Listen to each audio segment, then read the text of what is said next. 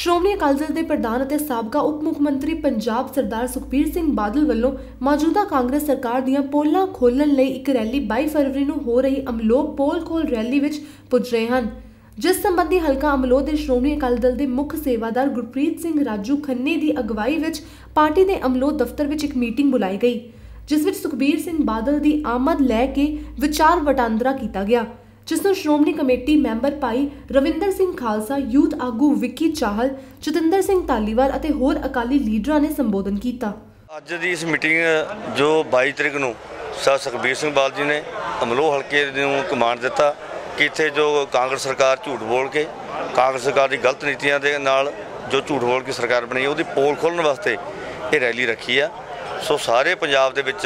ਇਹ ਰੈਲੀ ਸ਼ੁਰੂ ਕੀਤੀਆਂ ਗਈਆਂ ਨੇ ਤੇ ਸਾਨੂੰ ਮਾਣ ਆ ਕਿ ਸਾਡੇ ਅਮਰੋਹ ਹਲਕੇ ਨੂੰ ਮਾਣ ਦਿੱਤਾ ਗਿਆ। ਸੋ ਅਸੀਂ ਜੋ ਕਾਂਗਰਸ ਸਰਕਾਰ ਵੱਲੋਂ ਕਰਜ਼ਾ ਮਾਫੀ ਦੀ ਗੱਲ ਕੀਤੀ ਸੀ, ਨਸ਼ਿਆਂ ਦੀ ਗੱਲ ਕੀਤੀ ਸੀ ਜਾਂ ਬੁਢਾਪਾ ਪੈਨਸ਼ਨ, ਹੋਰ ਸਹੂਲਤਾਂ ਦੀ ਗੱਲ ਕਰਕੇ ਇਹ ਸਰਕਾਰ ਬਣੀ ਸੀ, ਜੋ ਅਕਾਲੀ ਬੀਜੇਪੀ ਸਰਕਾਰ ਨੇ ਸਹੂਲਤਾਂ ਦਿੱਤੀਆਂ, ਸਾਰੀਆਂ ਸਹੂਲਤਾਂ ਬੰਦ ਕਰਤੀਆਂ ਨੇ।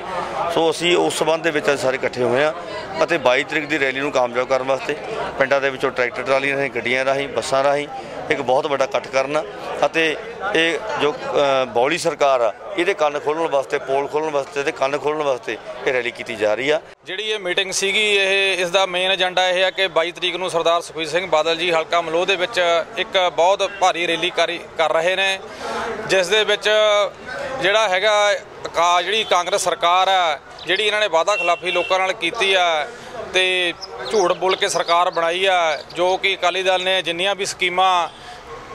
ਲੋਕਾਂ ਨੂੰ ਦਿੱਤੀਆਂ ਸੀਗੀਆਂ, ਉਹ ਸਭ ਲਗਭਗ ਇਹਨਾਂ ਨੇ ਬੰਦ ਕਰਤੀਆਂ ਨੇ। ਉਹਦੇ ਸਬੰਧ ਵਿੱਚ ਉੱਥੇ ਵਿਚਾਰ ਚਰਚਾ ਹੋਣੀ ਆ ਤੇ ਮੈਂ ਸਾਰੀ ਸਮੁੱਚੀ ਲੀਡਰਸ਼ਿਪ ਤੇ ਵਰਕਰ ਸਾਹਿਬਾਨਾਂ ਨੂੰ ਬੇਨਤੀ ਕਰੂੰਗਾ ਕਿ ਉਹ 22 ਤਰੀਕ ਨੂੰ ਹਮ ਹਮਾ ਕੇ ਰੈਲੀ ਦੇ ਵਿੱਚ ਪਹੁੰਚਣ ਤੇ ਰੈਲੀ ਨੂੰ ਕਾਮਯਾਬ ਕਰਨ। ਵਾਹਿਗੁਰੂ ਜੀ ਕਾ ਖਾਲਸਾ, ਵਾਹਿਗੁਰੂ ਜੀ ਕੀ ਫਤਿਹ। ਮੰਡੀ ਗੋਬਿੰਦਗੜ੍ਹ ਤੋਂ ਭੁਪਿੰਦਰ ਢਿੱਲੋਂ ਦੀ ਰਿਪੋਰਟ, ਚੈਨਲ 2